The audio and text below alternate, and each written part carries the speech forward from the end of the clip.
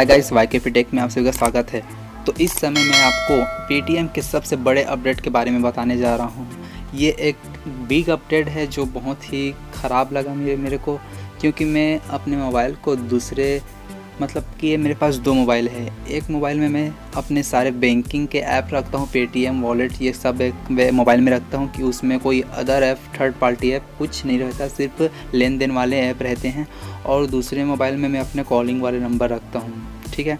तो मैंने अपने पेटीएम को अपडेट किया प्ले स्टोर पर जाके। तो देखा कि पेटीएम में अपडेट मांगा तो मैंने अपडेट दिया। उसके बाद मोबाइल लॉगिन करने के लिए मांगा। तो लॉगिन नहीं हुआ, क्योंकि आपके जिस मोबाइल में पेटीएम है, उसी मोबाइल उसी मोबाइल में आपके नंबर होने चाहिए सिम लगे होने चाहिए, तभी पेटीएम लॉगिन हो सकता है।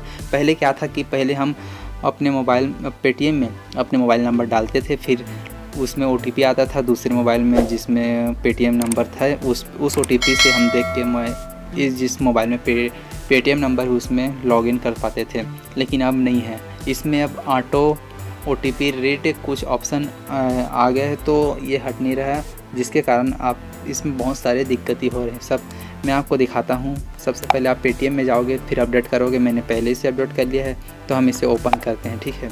देखिए, मैंने इसे पेटीएम ओपन हो चुका है, देखिए, ये लॉगिन करने के लिए मोबाइल नंबर मांग रहा है। तो मैं मेरा मोबाइल नंबर जिस में, जिस नंबर पर मैं पेटीएम चलाता हूँ, उस नंबर, वो नंबर दूसरे में लगा है, पहले से तो वही लगा, डाल देखिए। तो मैंने ये प्रोसेस सिक्योरिटली इसे लॉगिन कर दिया, ठीक है? देखिए वेरिंग फाइव मोबाइल नंबर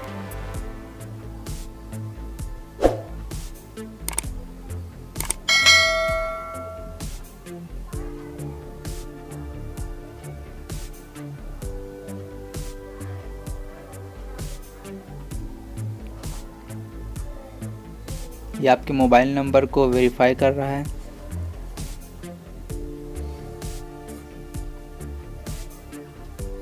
देखिए, अब यहाँ पास वेरिफिकेशन फेल्ड बता रहा है, ठीक है?